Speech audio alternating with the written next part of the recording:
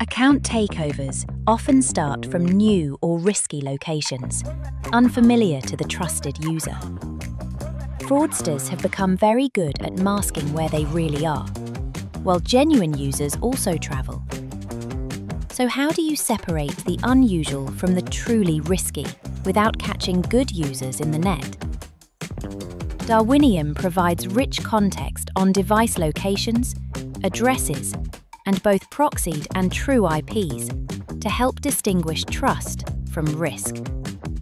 Combined with our proprietary digital signatures and a unique understanding of how trusted users behave, businesses can build a complete picture of login risk based on behavior, device, and location intelligence.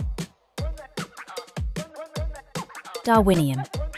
Know what's real.